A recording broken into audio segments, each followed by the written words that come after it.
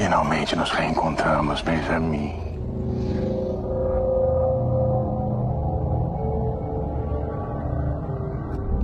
Deixem-nos a sós.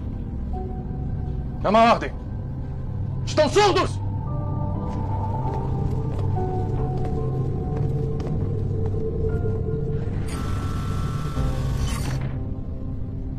Você tinha que aprontar mais uma das suas, não é mesmo?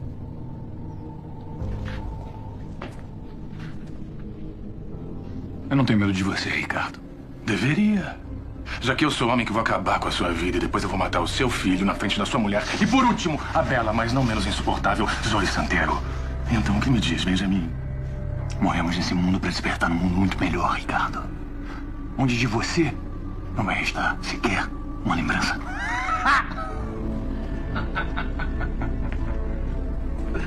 Ai, não me diga que você agora acredita nessas historinhas, Benjamin. Era tão mais divertido quando você dizia teu.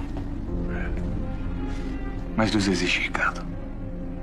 Ele é bem maior do que você. O único Deus que existe aqui sou eu! E você vai se curvar diante de mim e dizer ao mundo inteiro que me adora.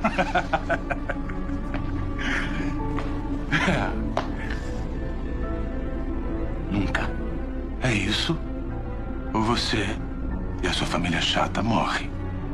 Sua mulher crente aquele seu filhinho insosso? Você não sabe onde eles estão. Mas eu te garanto que não vai ser tão difícil de descobrir, não, Benjamin. O Rio de Janeiro não é tão grande. Surpreso? Que falta de educação a sua não me convidar para o seu casamento. Não se esqueça que hoje em dia, com redes sociais, não há mais privacidade. Você sabe que eu poderia acabar com você agora, aqui, com as minhas próprias mãos, não sabe? Sabe? Eu tenho defeito. Eu sou magnânimo. E você vai ser muito mais útil dando um testemunho de que eu sou o único Deus! Enquanto isso, Benjamin. Ah, enquanto isso, você vai viver o suficiente para sofrer bastante na minha mão. Te matar agora seria um prêmio, Benjamin. Eu quero que você anseie pela sua morte, mesmo assim ela não venha. Você vai viver bastante, Benjamin. E agora, aproveita para descansar e pense no seu futuro e no futuro da sua família insuportável.